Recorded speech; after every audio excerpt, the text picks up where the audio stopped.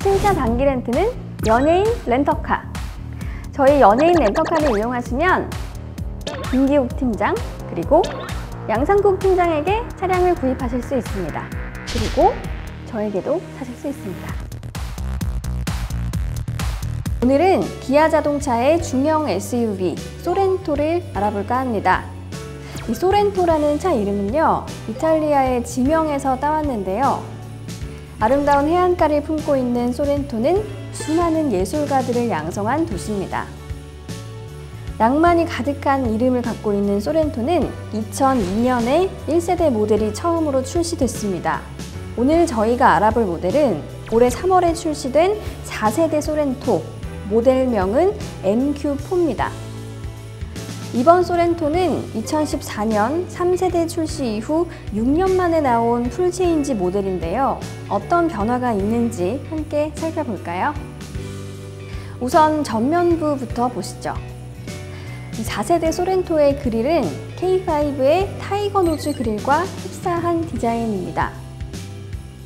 호랑이의 코를 닮았다고 해서 붙여진 별명인데요.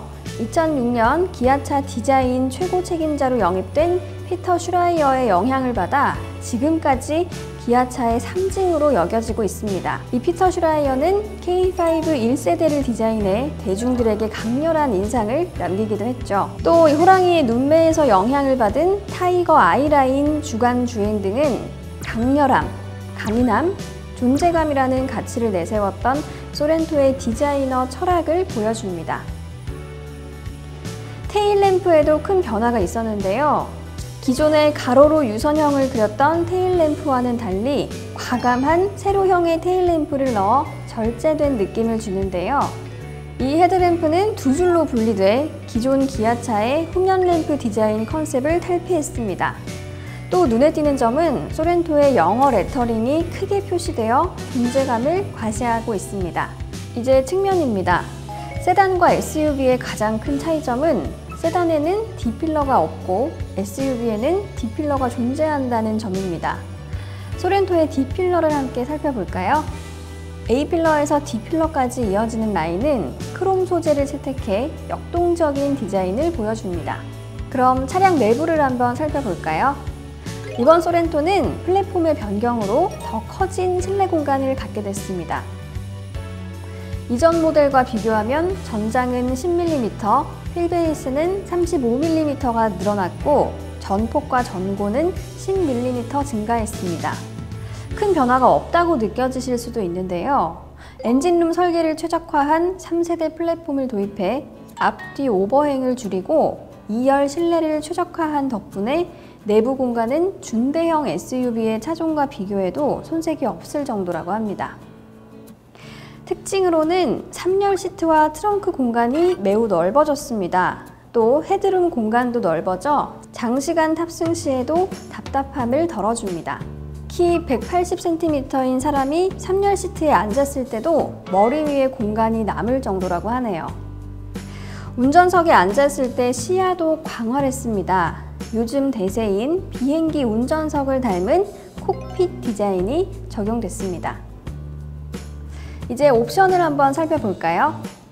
소렌토는 대부분 패밀리카로 구입하시는 분들이 많기 때문에 이 옵션 선택에도 신중을 기하셔야 할 것 같은데요.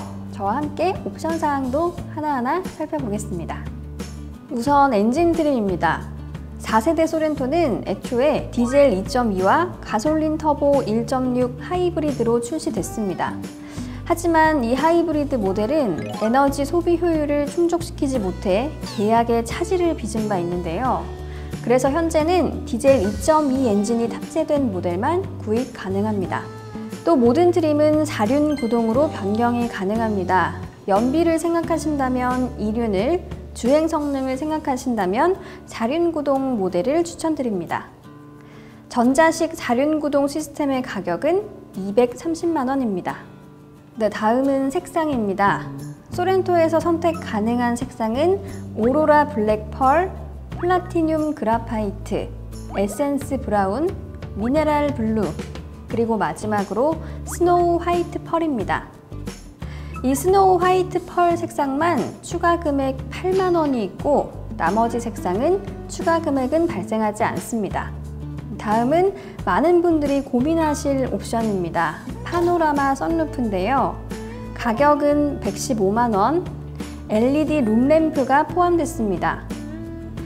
2열에서도 하늘을 볼 수 있는 개방감을 가져 아이를 두신 부모님들이 고민하실 것 같은 옵션인데요. 만약 자동차에서 잠을 자는 차박을 즐기시는 캠핑족이라면 추천해 드릴 만한 옵션입니다. 휴양지에서 밤하늘의 별을 보며 잠들 수 있기에 색다른 경험을 선사해 줄 옵션이죠. 네, 오늘은 4세대 소렌토가 어떻게 바뀌었는지 그리고 대략적인 옵션들을 살펴봤습니다. 핵심 옵션은 다음 시간에 다시 알려드리겠습니다. 오늘 영상이 도움이 조금이라도 되셨다면 구독, 좋아요 부탁드립니다. 신차 장기 렌트는 연예인 렌터카. 오늘은 여기까지입니다. 시청해주신 여러분 고맙습니다.